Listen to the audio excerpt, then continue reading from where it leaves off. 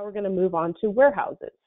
Acumatica supports a multiple warehouse setup as well as multiple locations within each warehouse. Now once this loads, we'll see a list of warehouses in the system. Throughout Acumatica, you will see similar generic inquiries which display lists of data like this. So we choose one line item and we click on this icon here to the side, Within the inquiry screens, you can see the details of a line item using the side panel feature. Here can we, we can review the warehouse settings and make changes without having to navigate to another screen.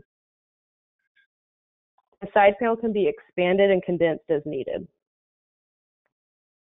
The warehouse configuration has options for location entry. Do not allow on the fly is a setting where all locations must be configured here in the warehouse setup prior to being chosen in transaction screens. Warn but allow, the users are warned if they enter a location that has not been previously created for the warehouse. And allow on the fly, users can specify a new location within the transaction screens.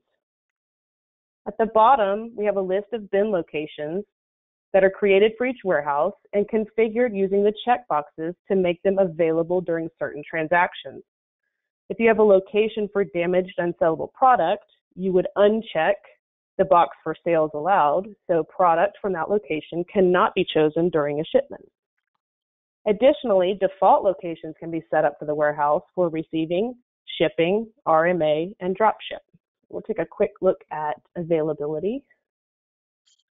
Item availability within Acumatica can be calculated based on multiple rules with different configurations. The availability calculation rules have many different options to include or deduct quantities from the on-hand quantity to determine availability.